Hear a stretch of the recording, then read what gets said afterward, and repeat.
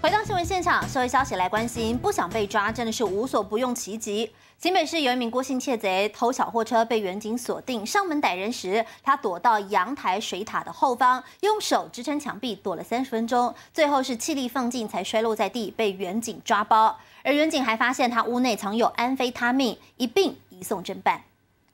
警方到民宅抓嫌犯，但花了三十分钟，找来找去就是找不到人。正要放进时，听到了阳台有声响，赶紧过去查看。原来嫌犯穿着四角裤，爬上梯子后就躲在了水塔后方，利用水塔当掩护，遮掩他的肥肚。有，你多远呀？他在水塔后。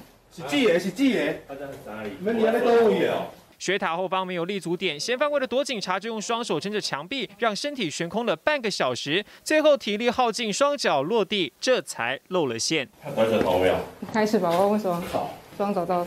这名郭姓窃嫌这个月在新北市汐止偷了路边停放的小货车，警方根据监视器追人，循线查出他的住家。就在警方上门抓人时，他就在自家和远景玩躲猫猫，结果还是被抓。警方也在他的住家搜出了毒品。人遭眼尖远景识破逮捕，并起获毒品安非他命及相关作案工具。